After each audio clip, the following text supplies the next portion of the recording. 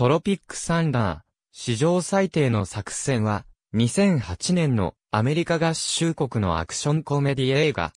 ベトナム戦争を題材にした映画、トロピックサンダーを撮影していた制作スタッフは、わがままな俳優たちのせいで、撮影5日で予算がなくなってしまう。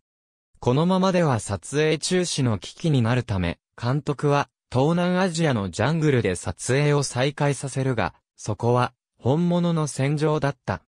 北米では3319巻で公開され、2600万ドルを記録して初登場1位となる。その後も3週連続1位となり、公開5週目で1億ドルを突破。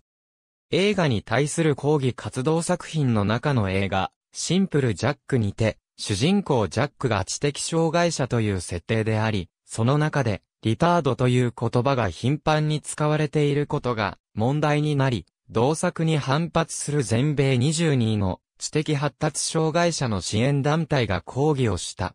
本作に登場するレス・グロスマンを主役にしたスピンオフ映画の制作が2010年に決定した。グロスマンは MTV ビデオミュージックアワード2010の受賞式でダンスパフォーマンスを行った。ありがとうございます。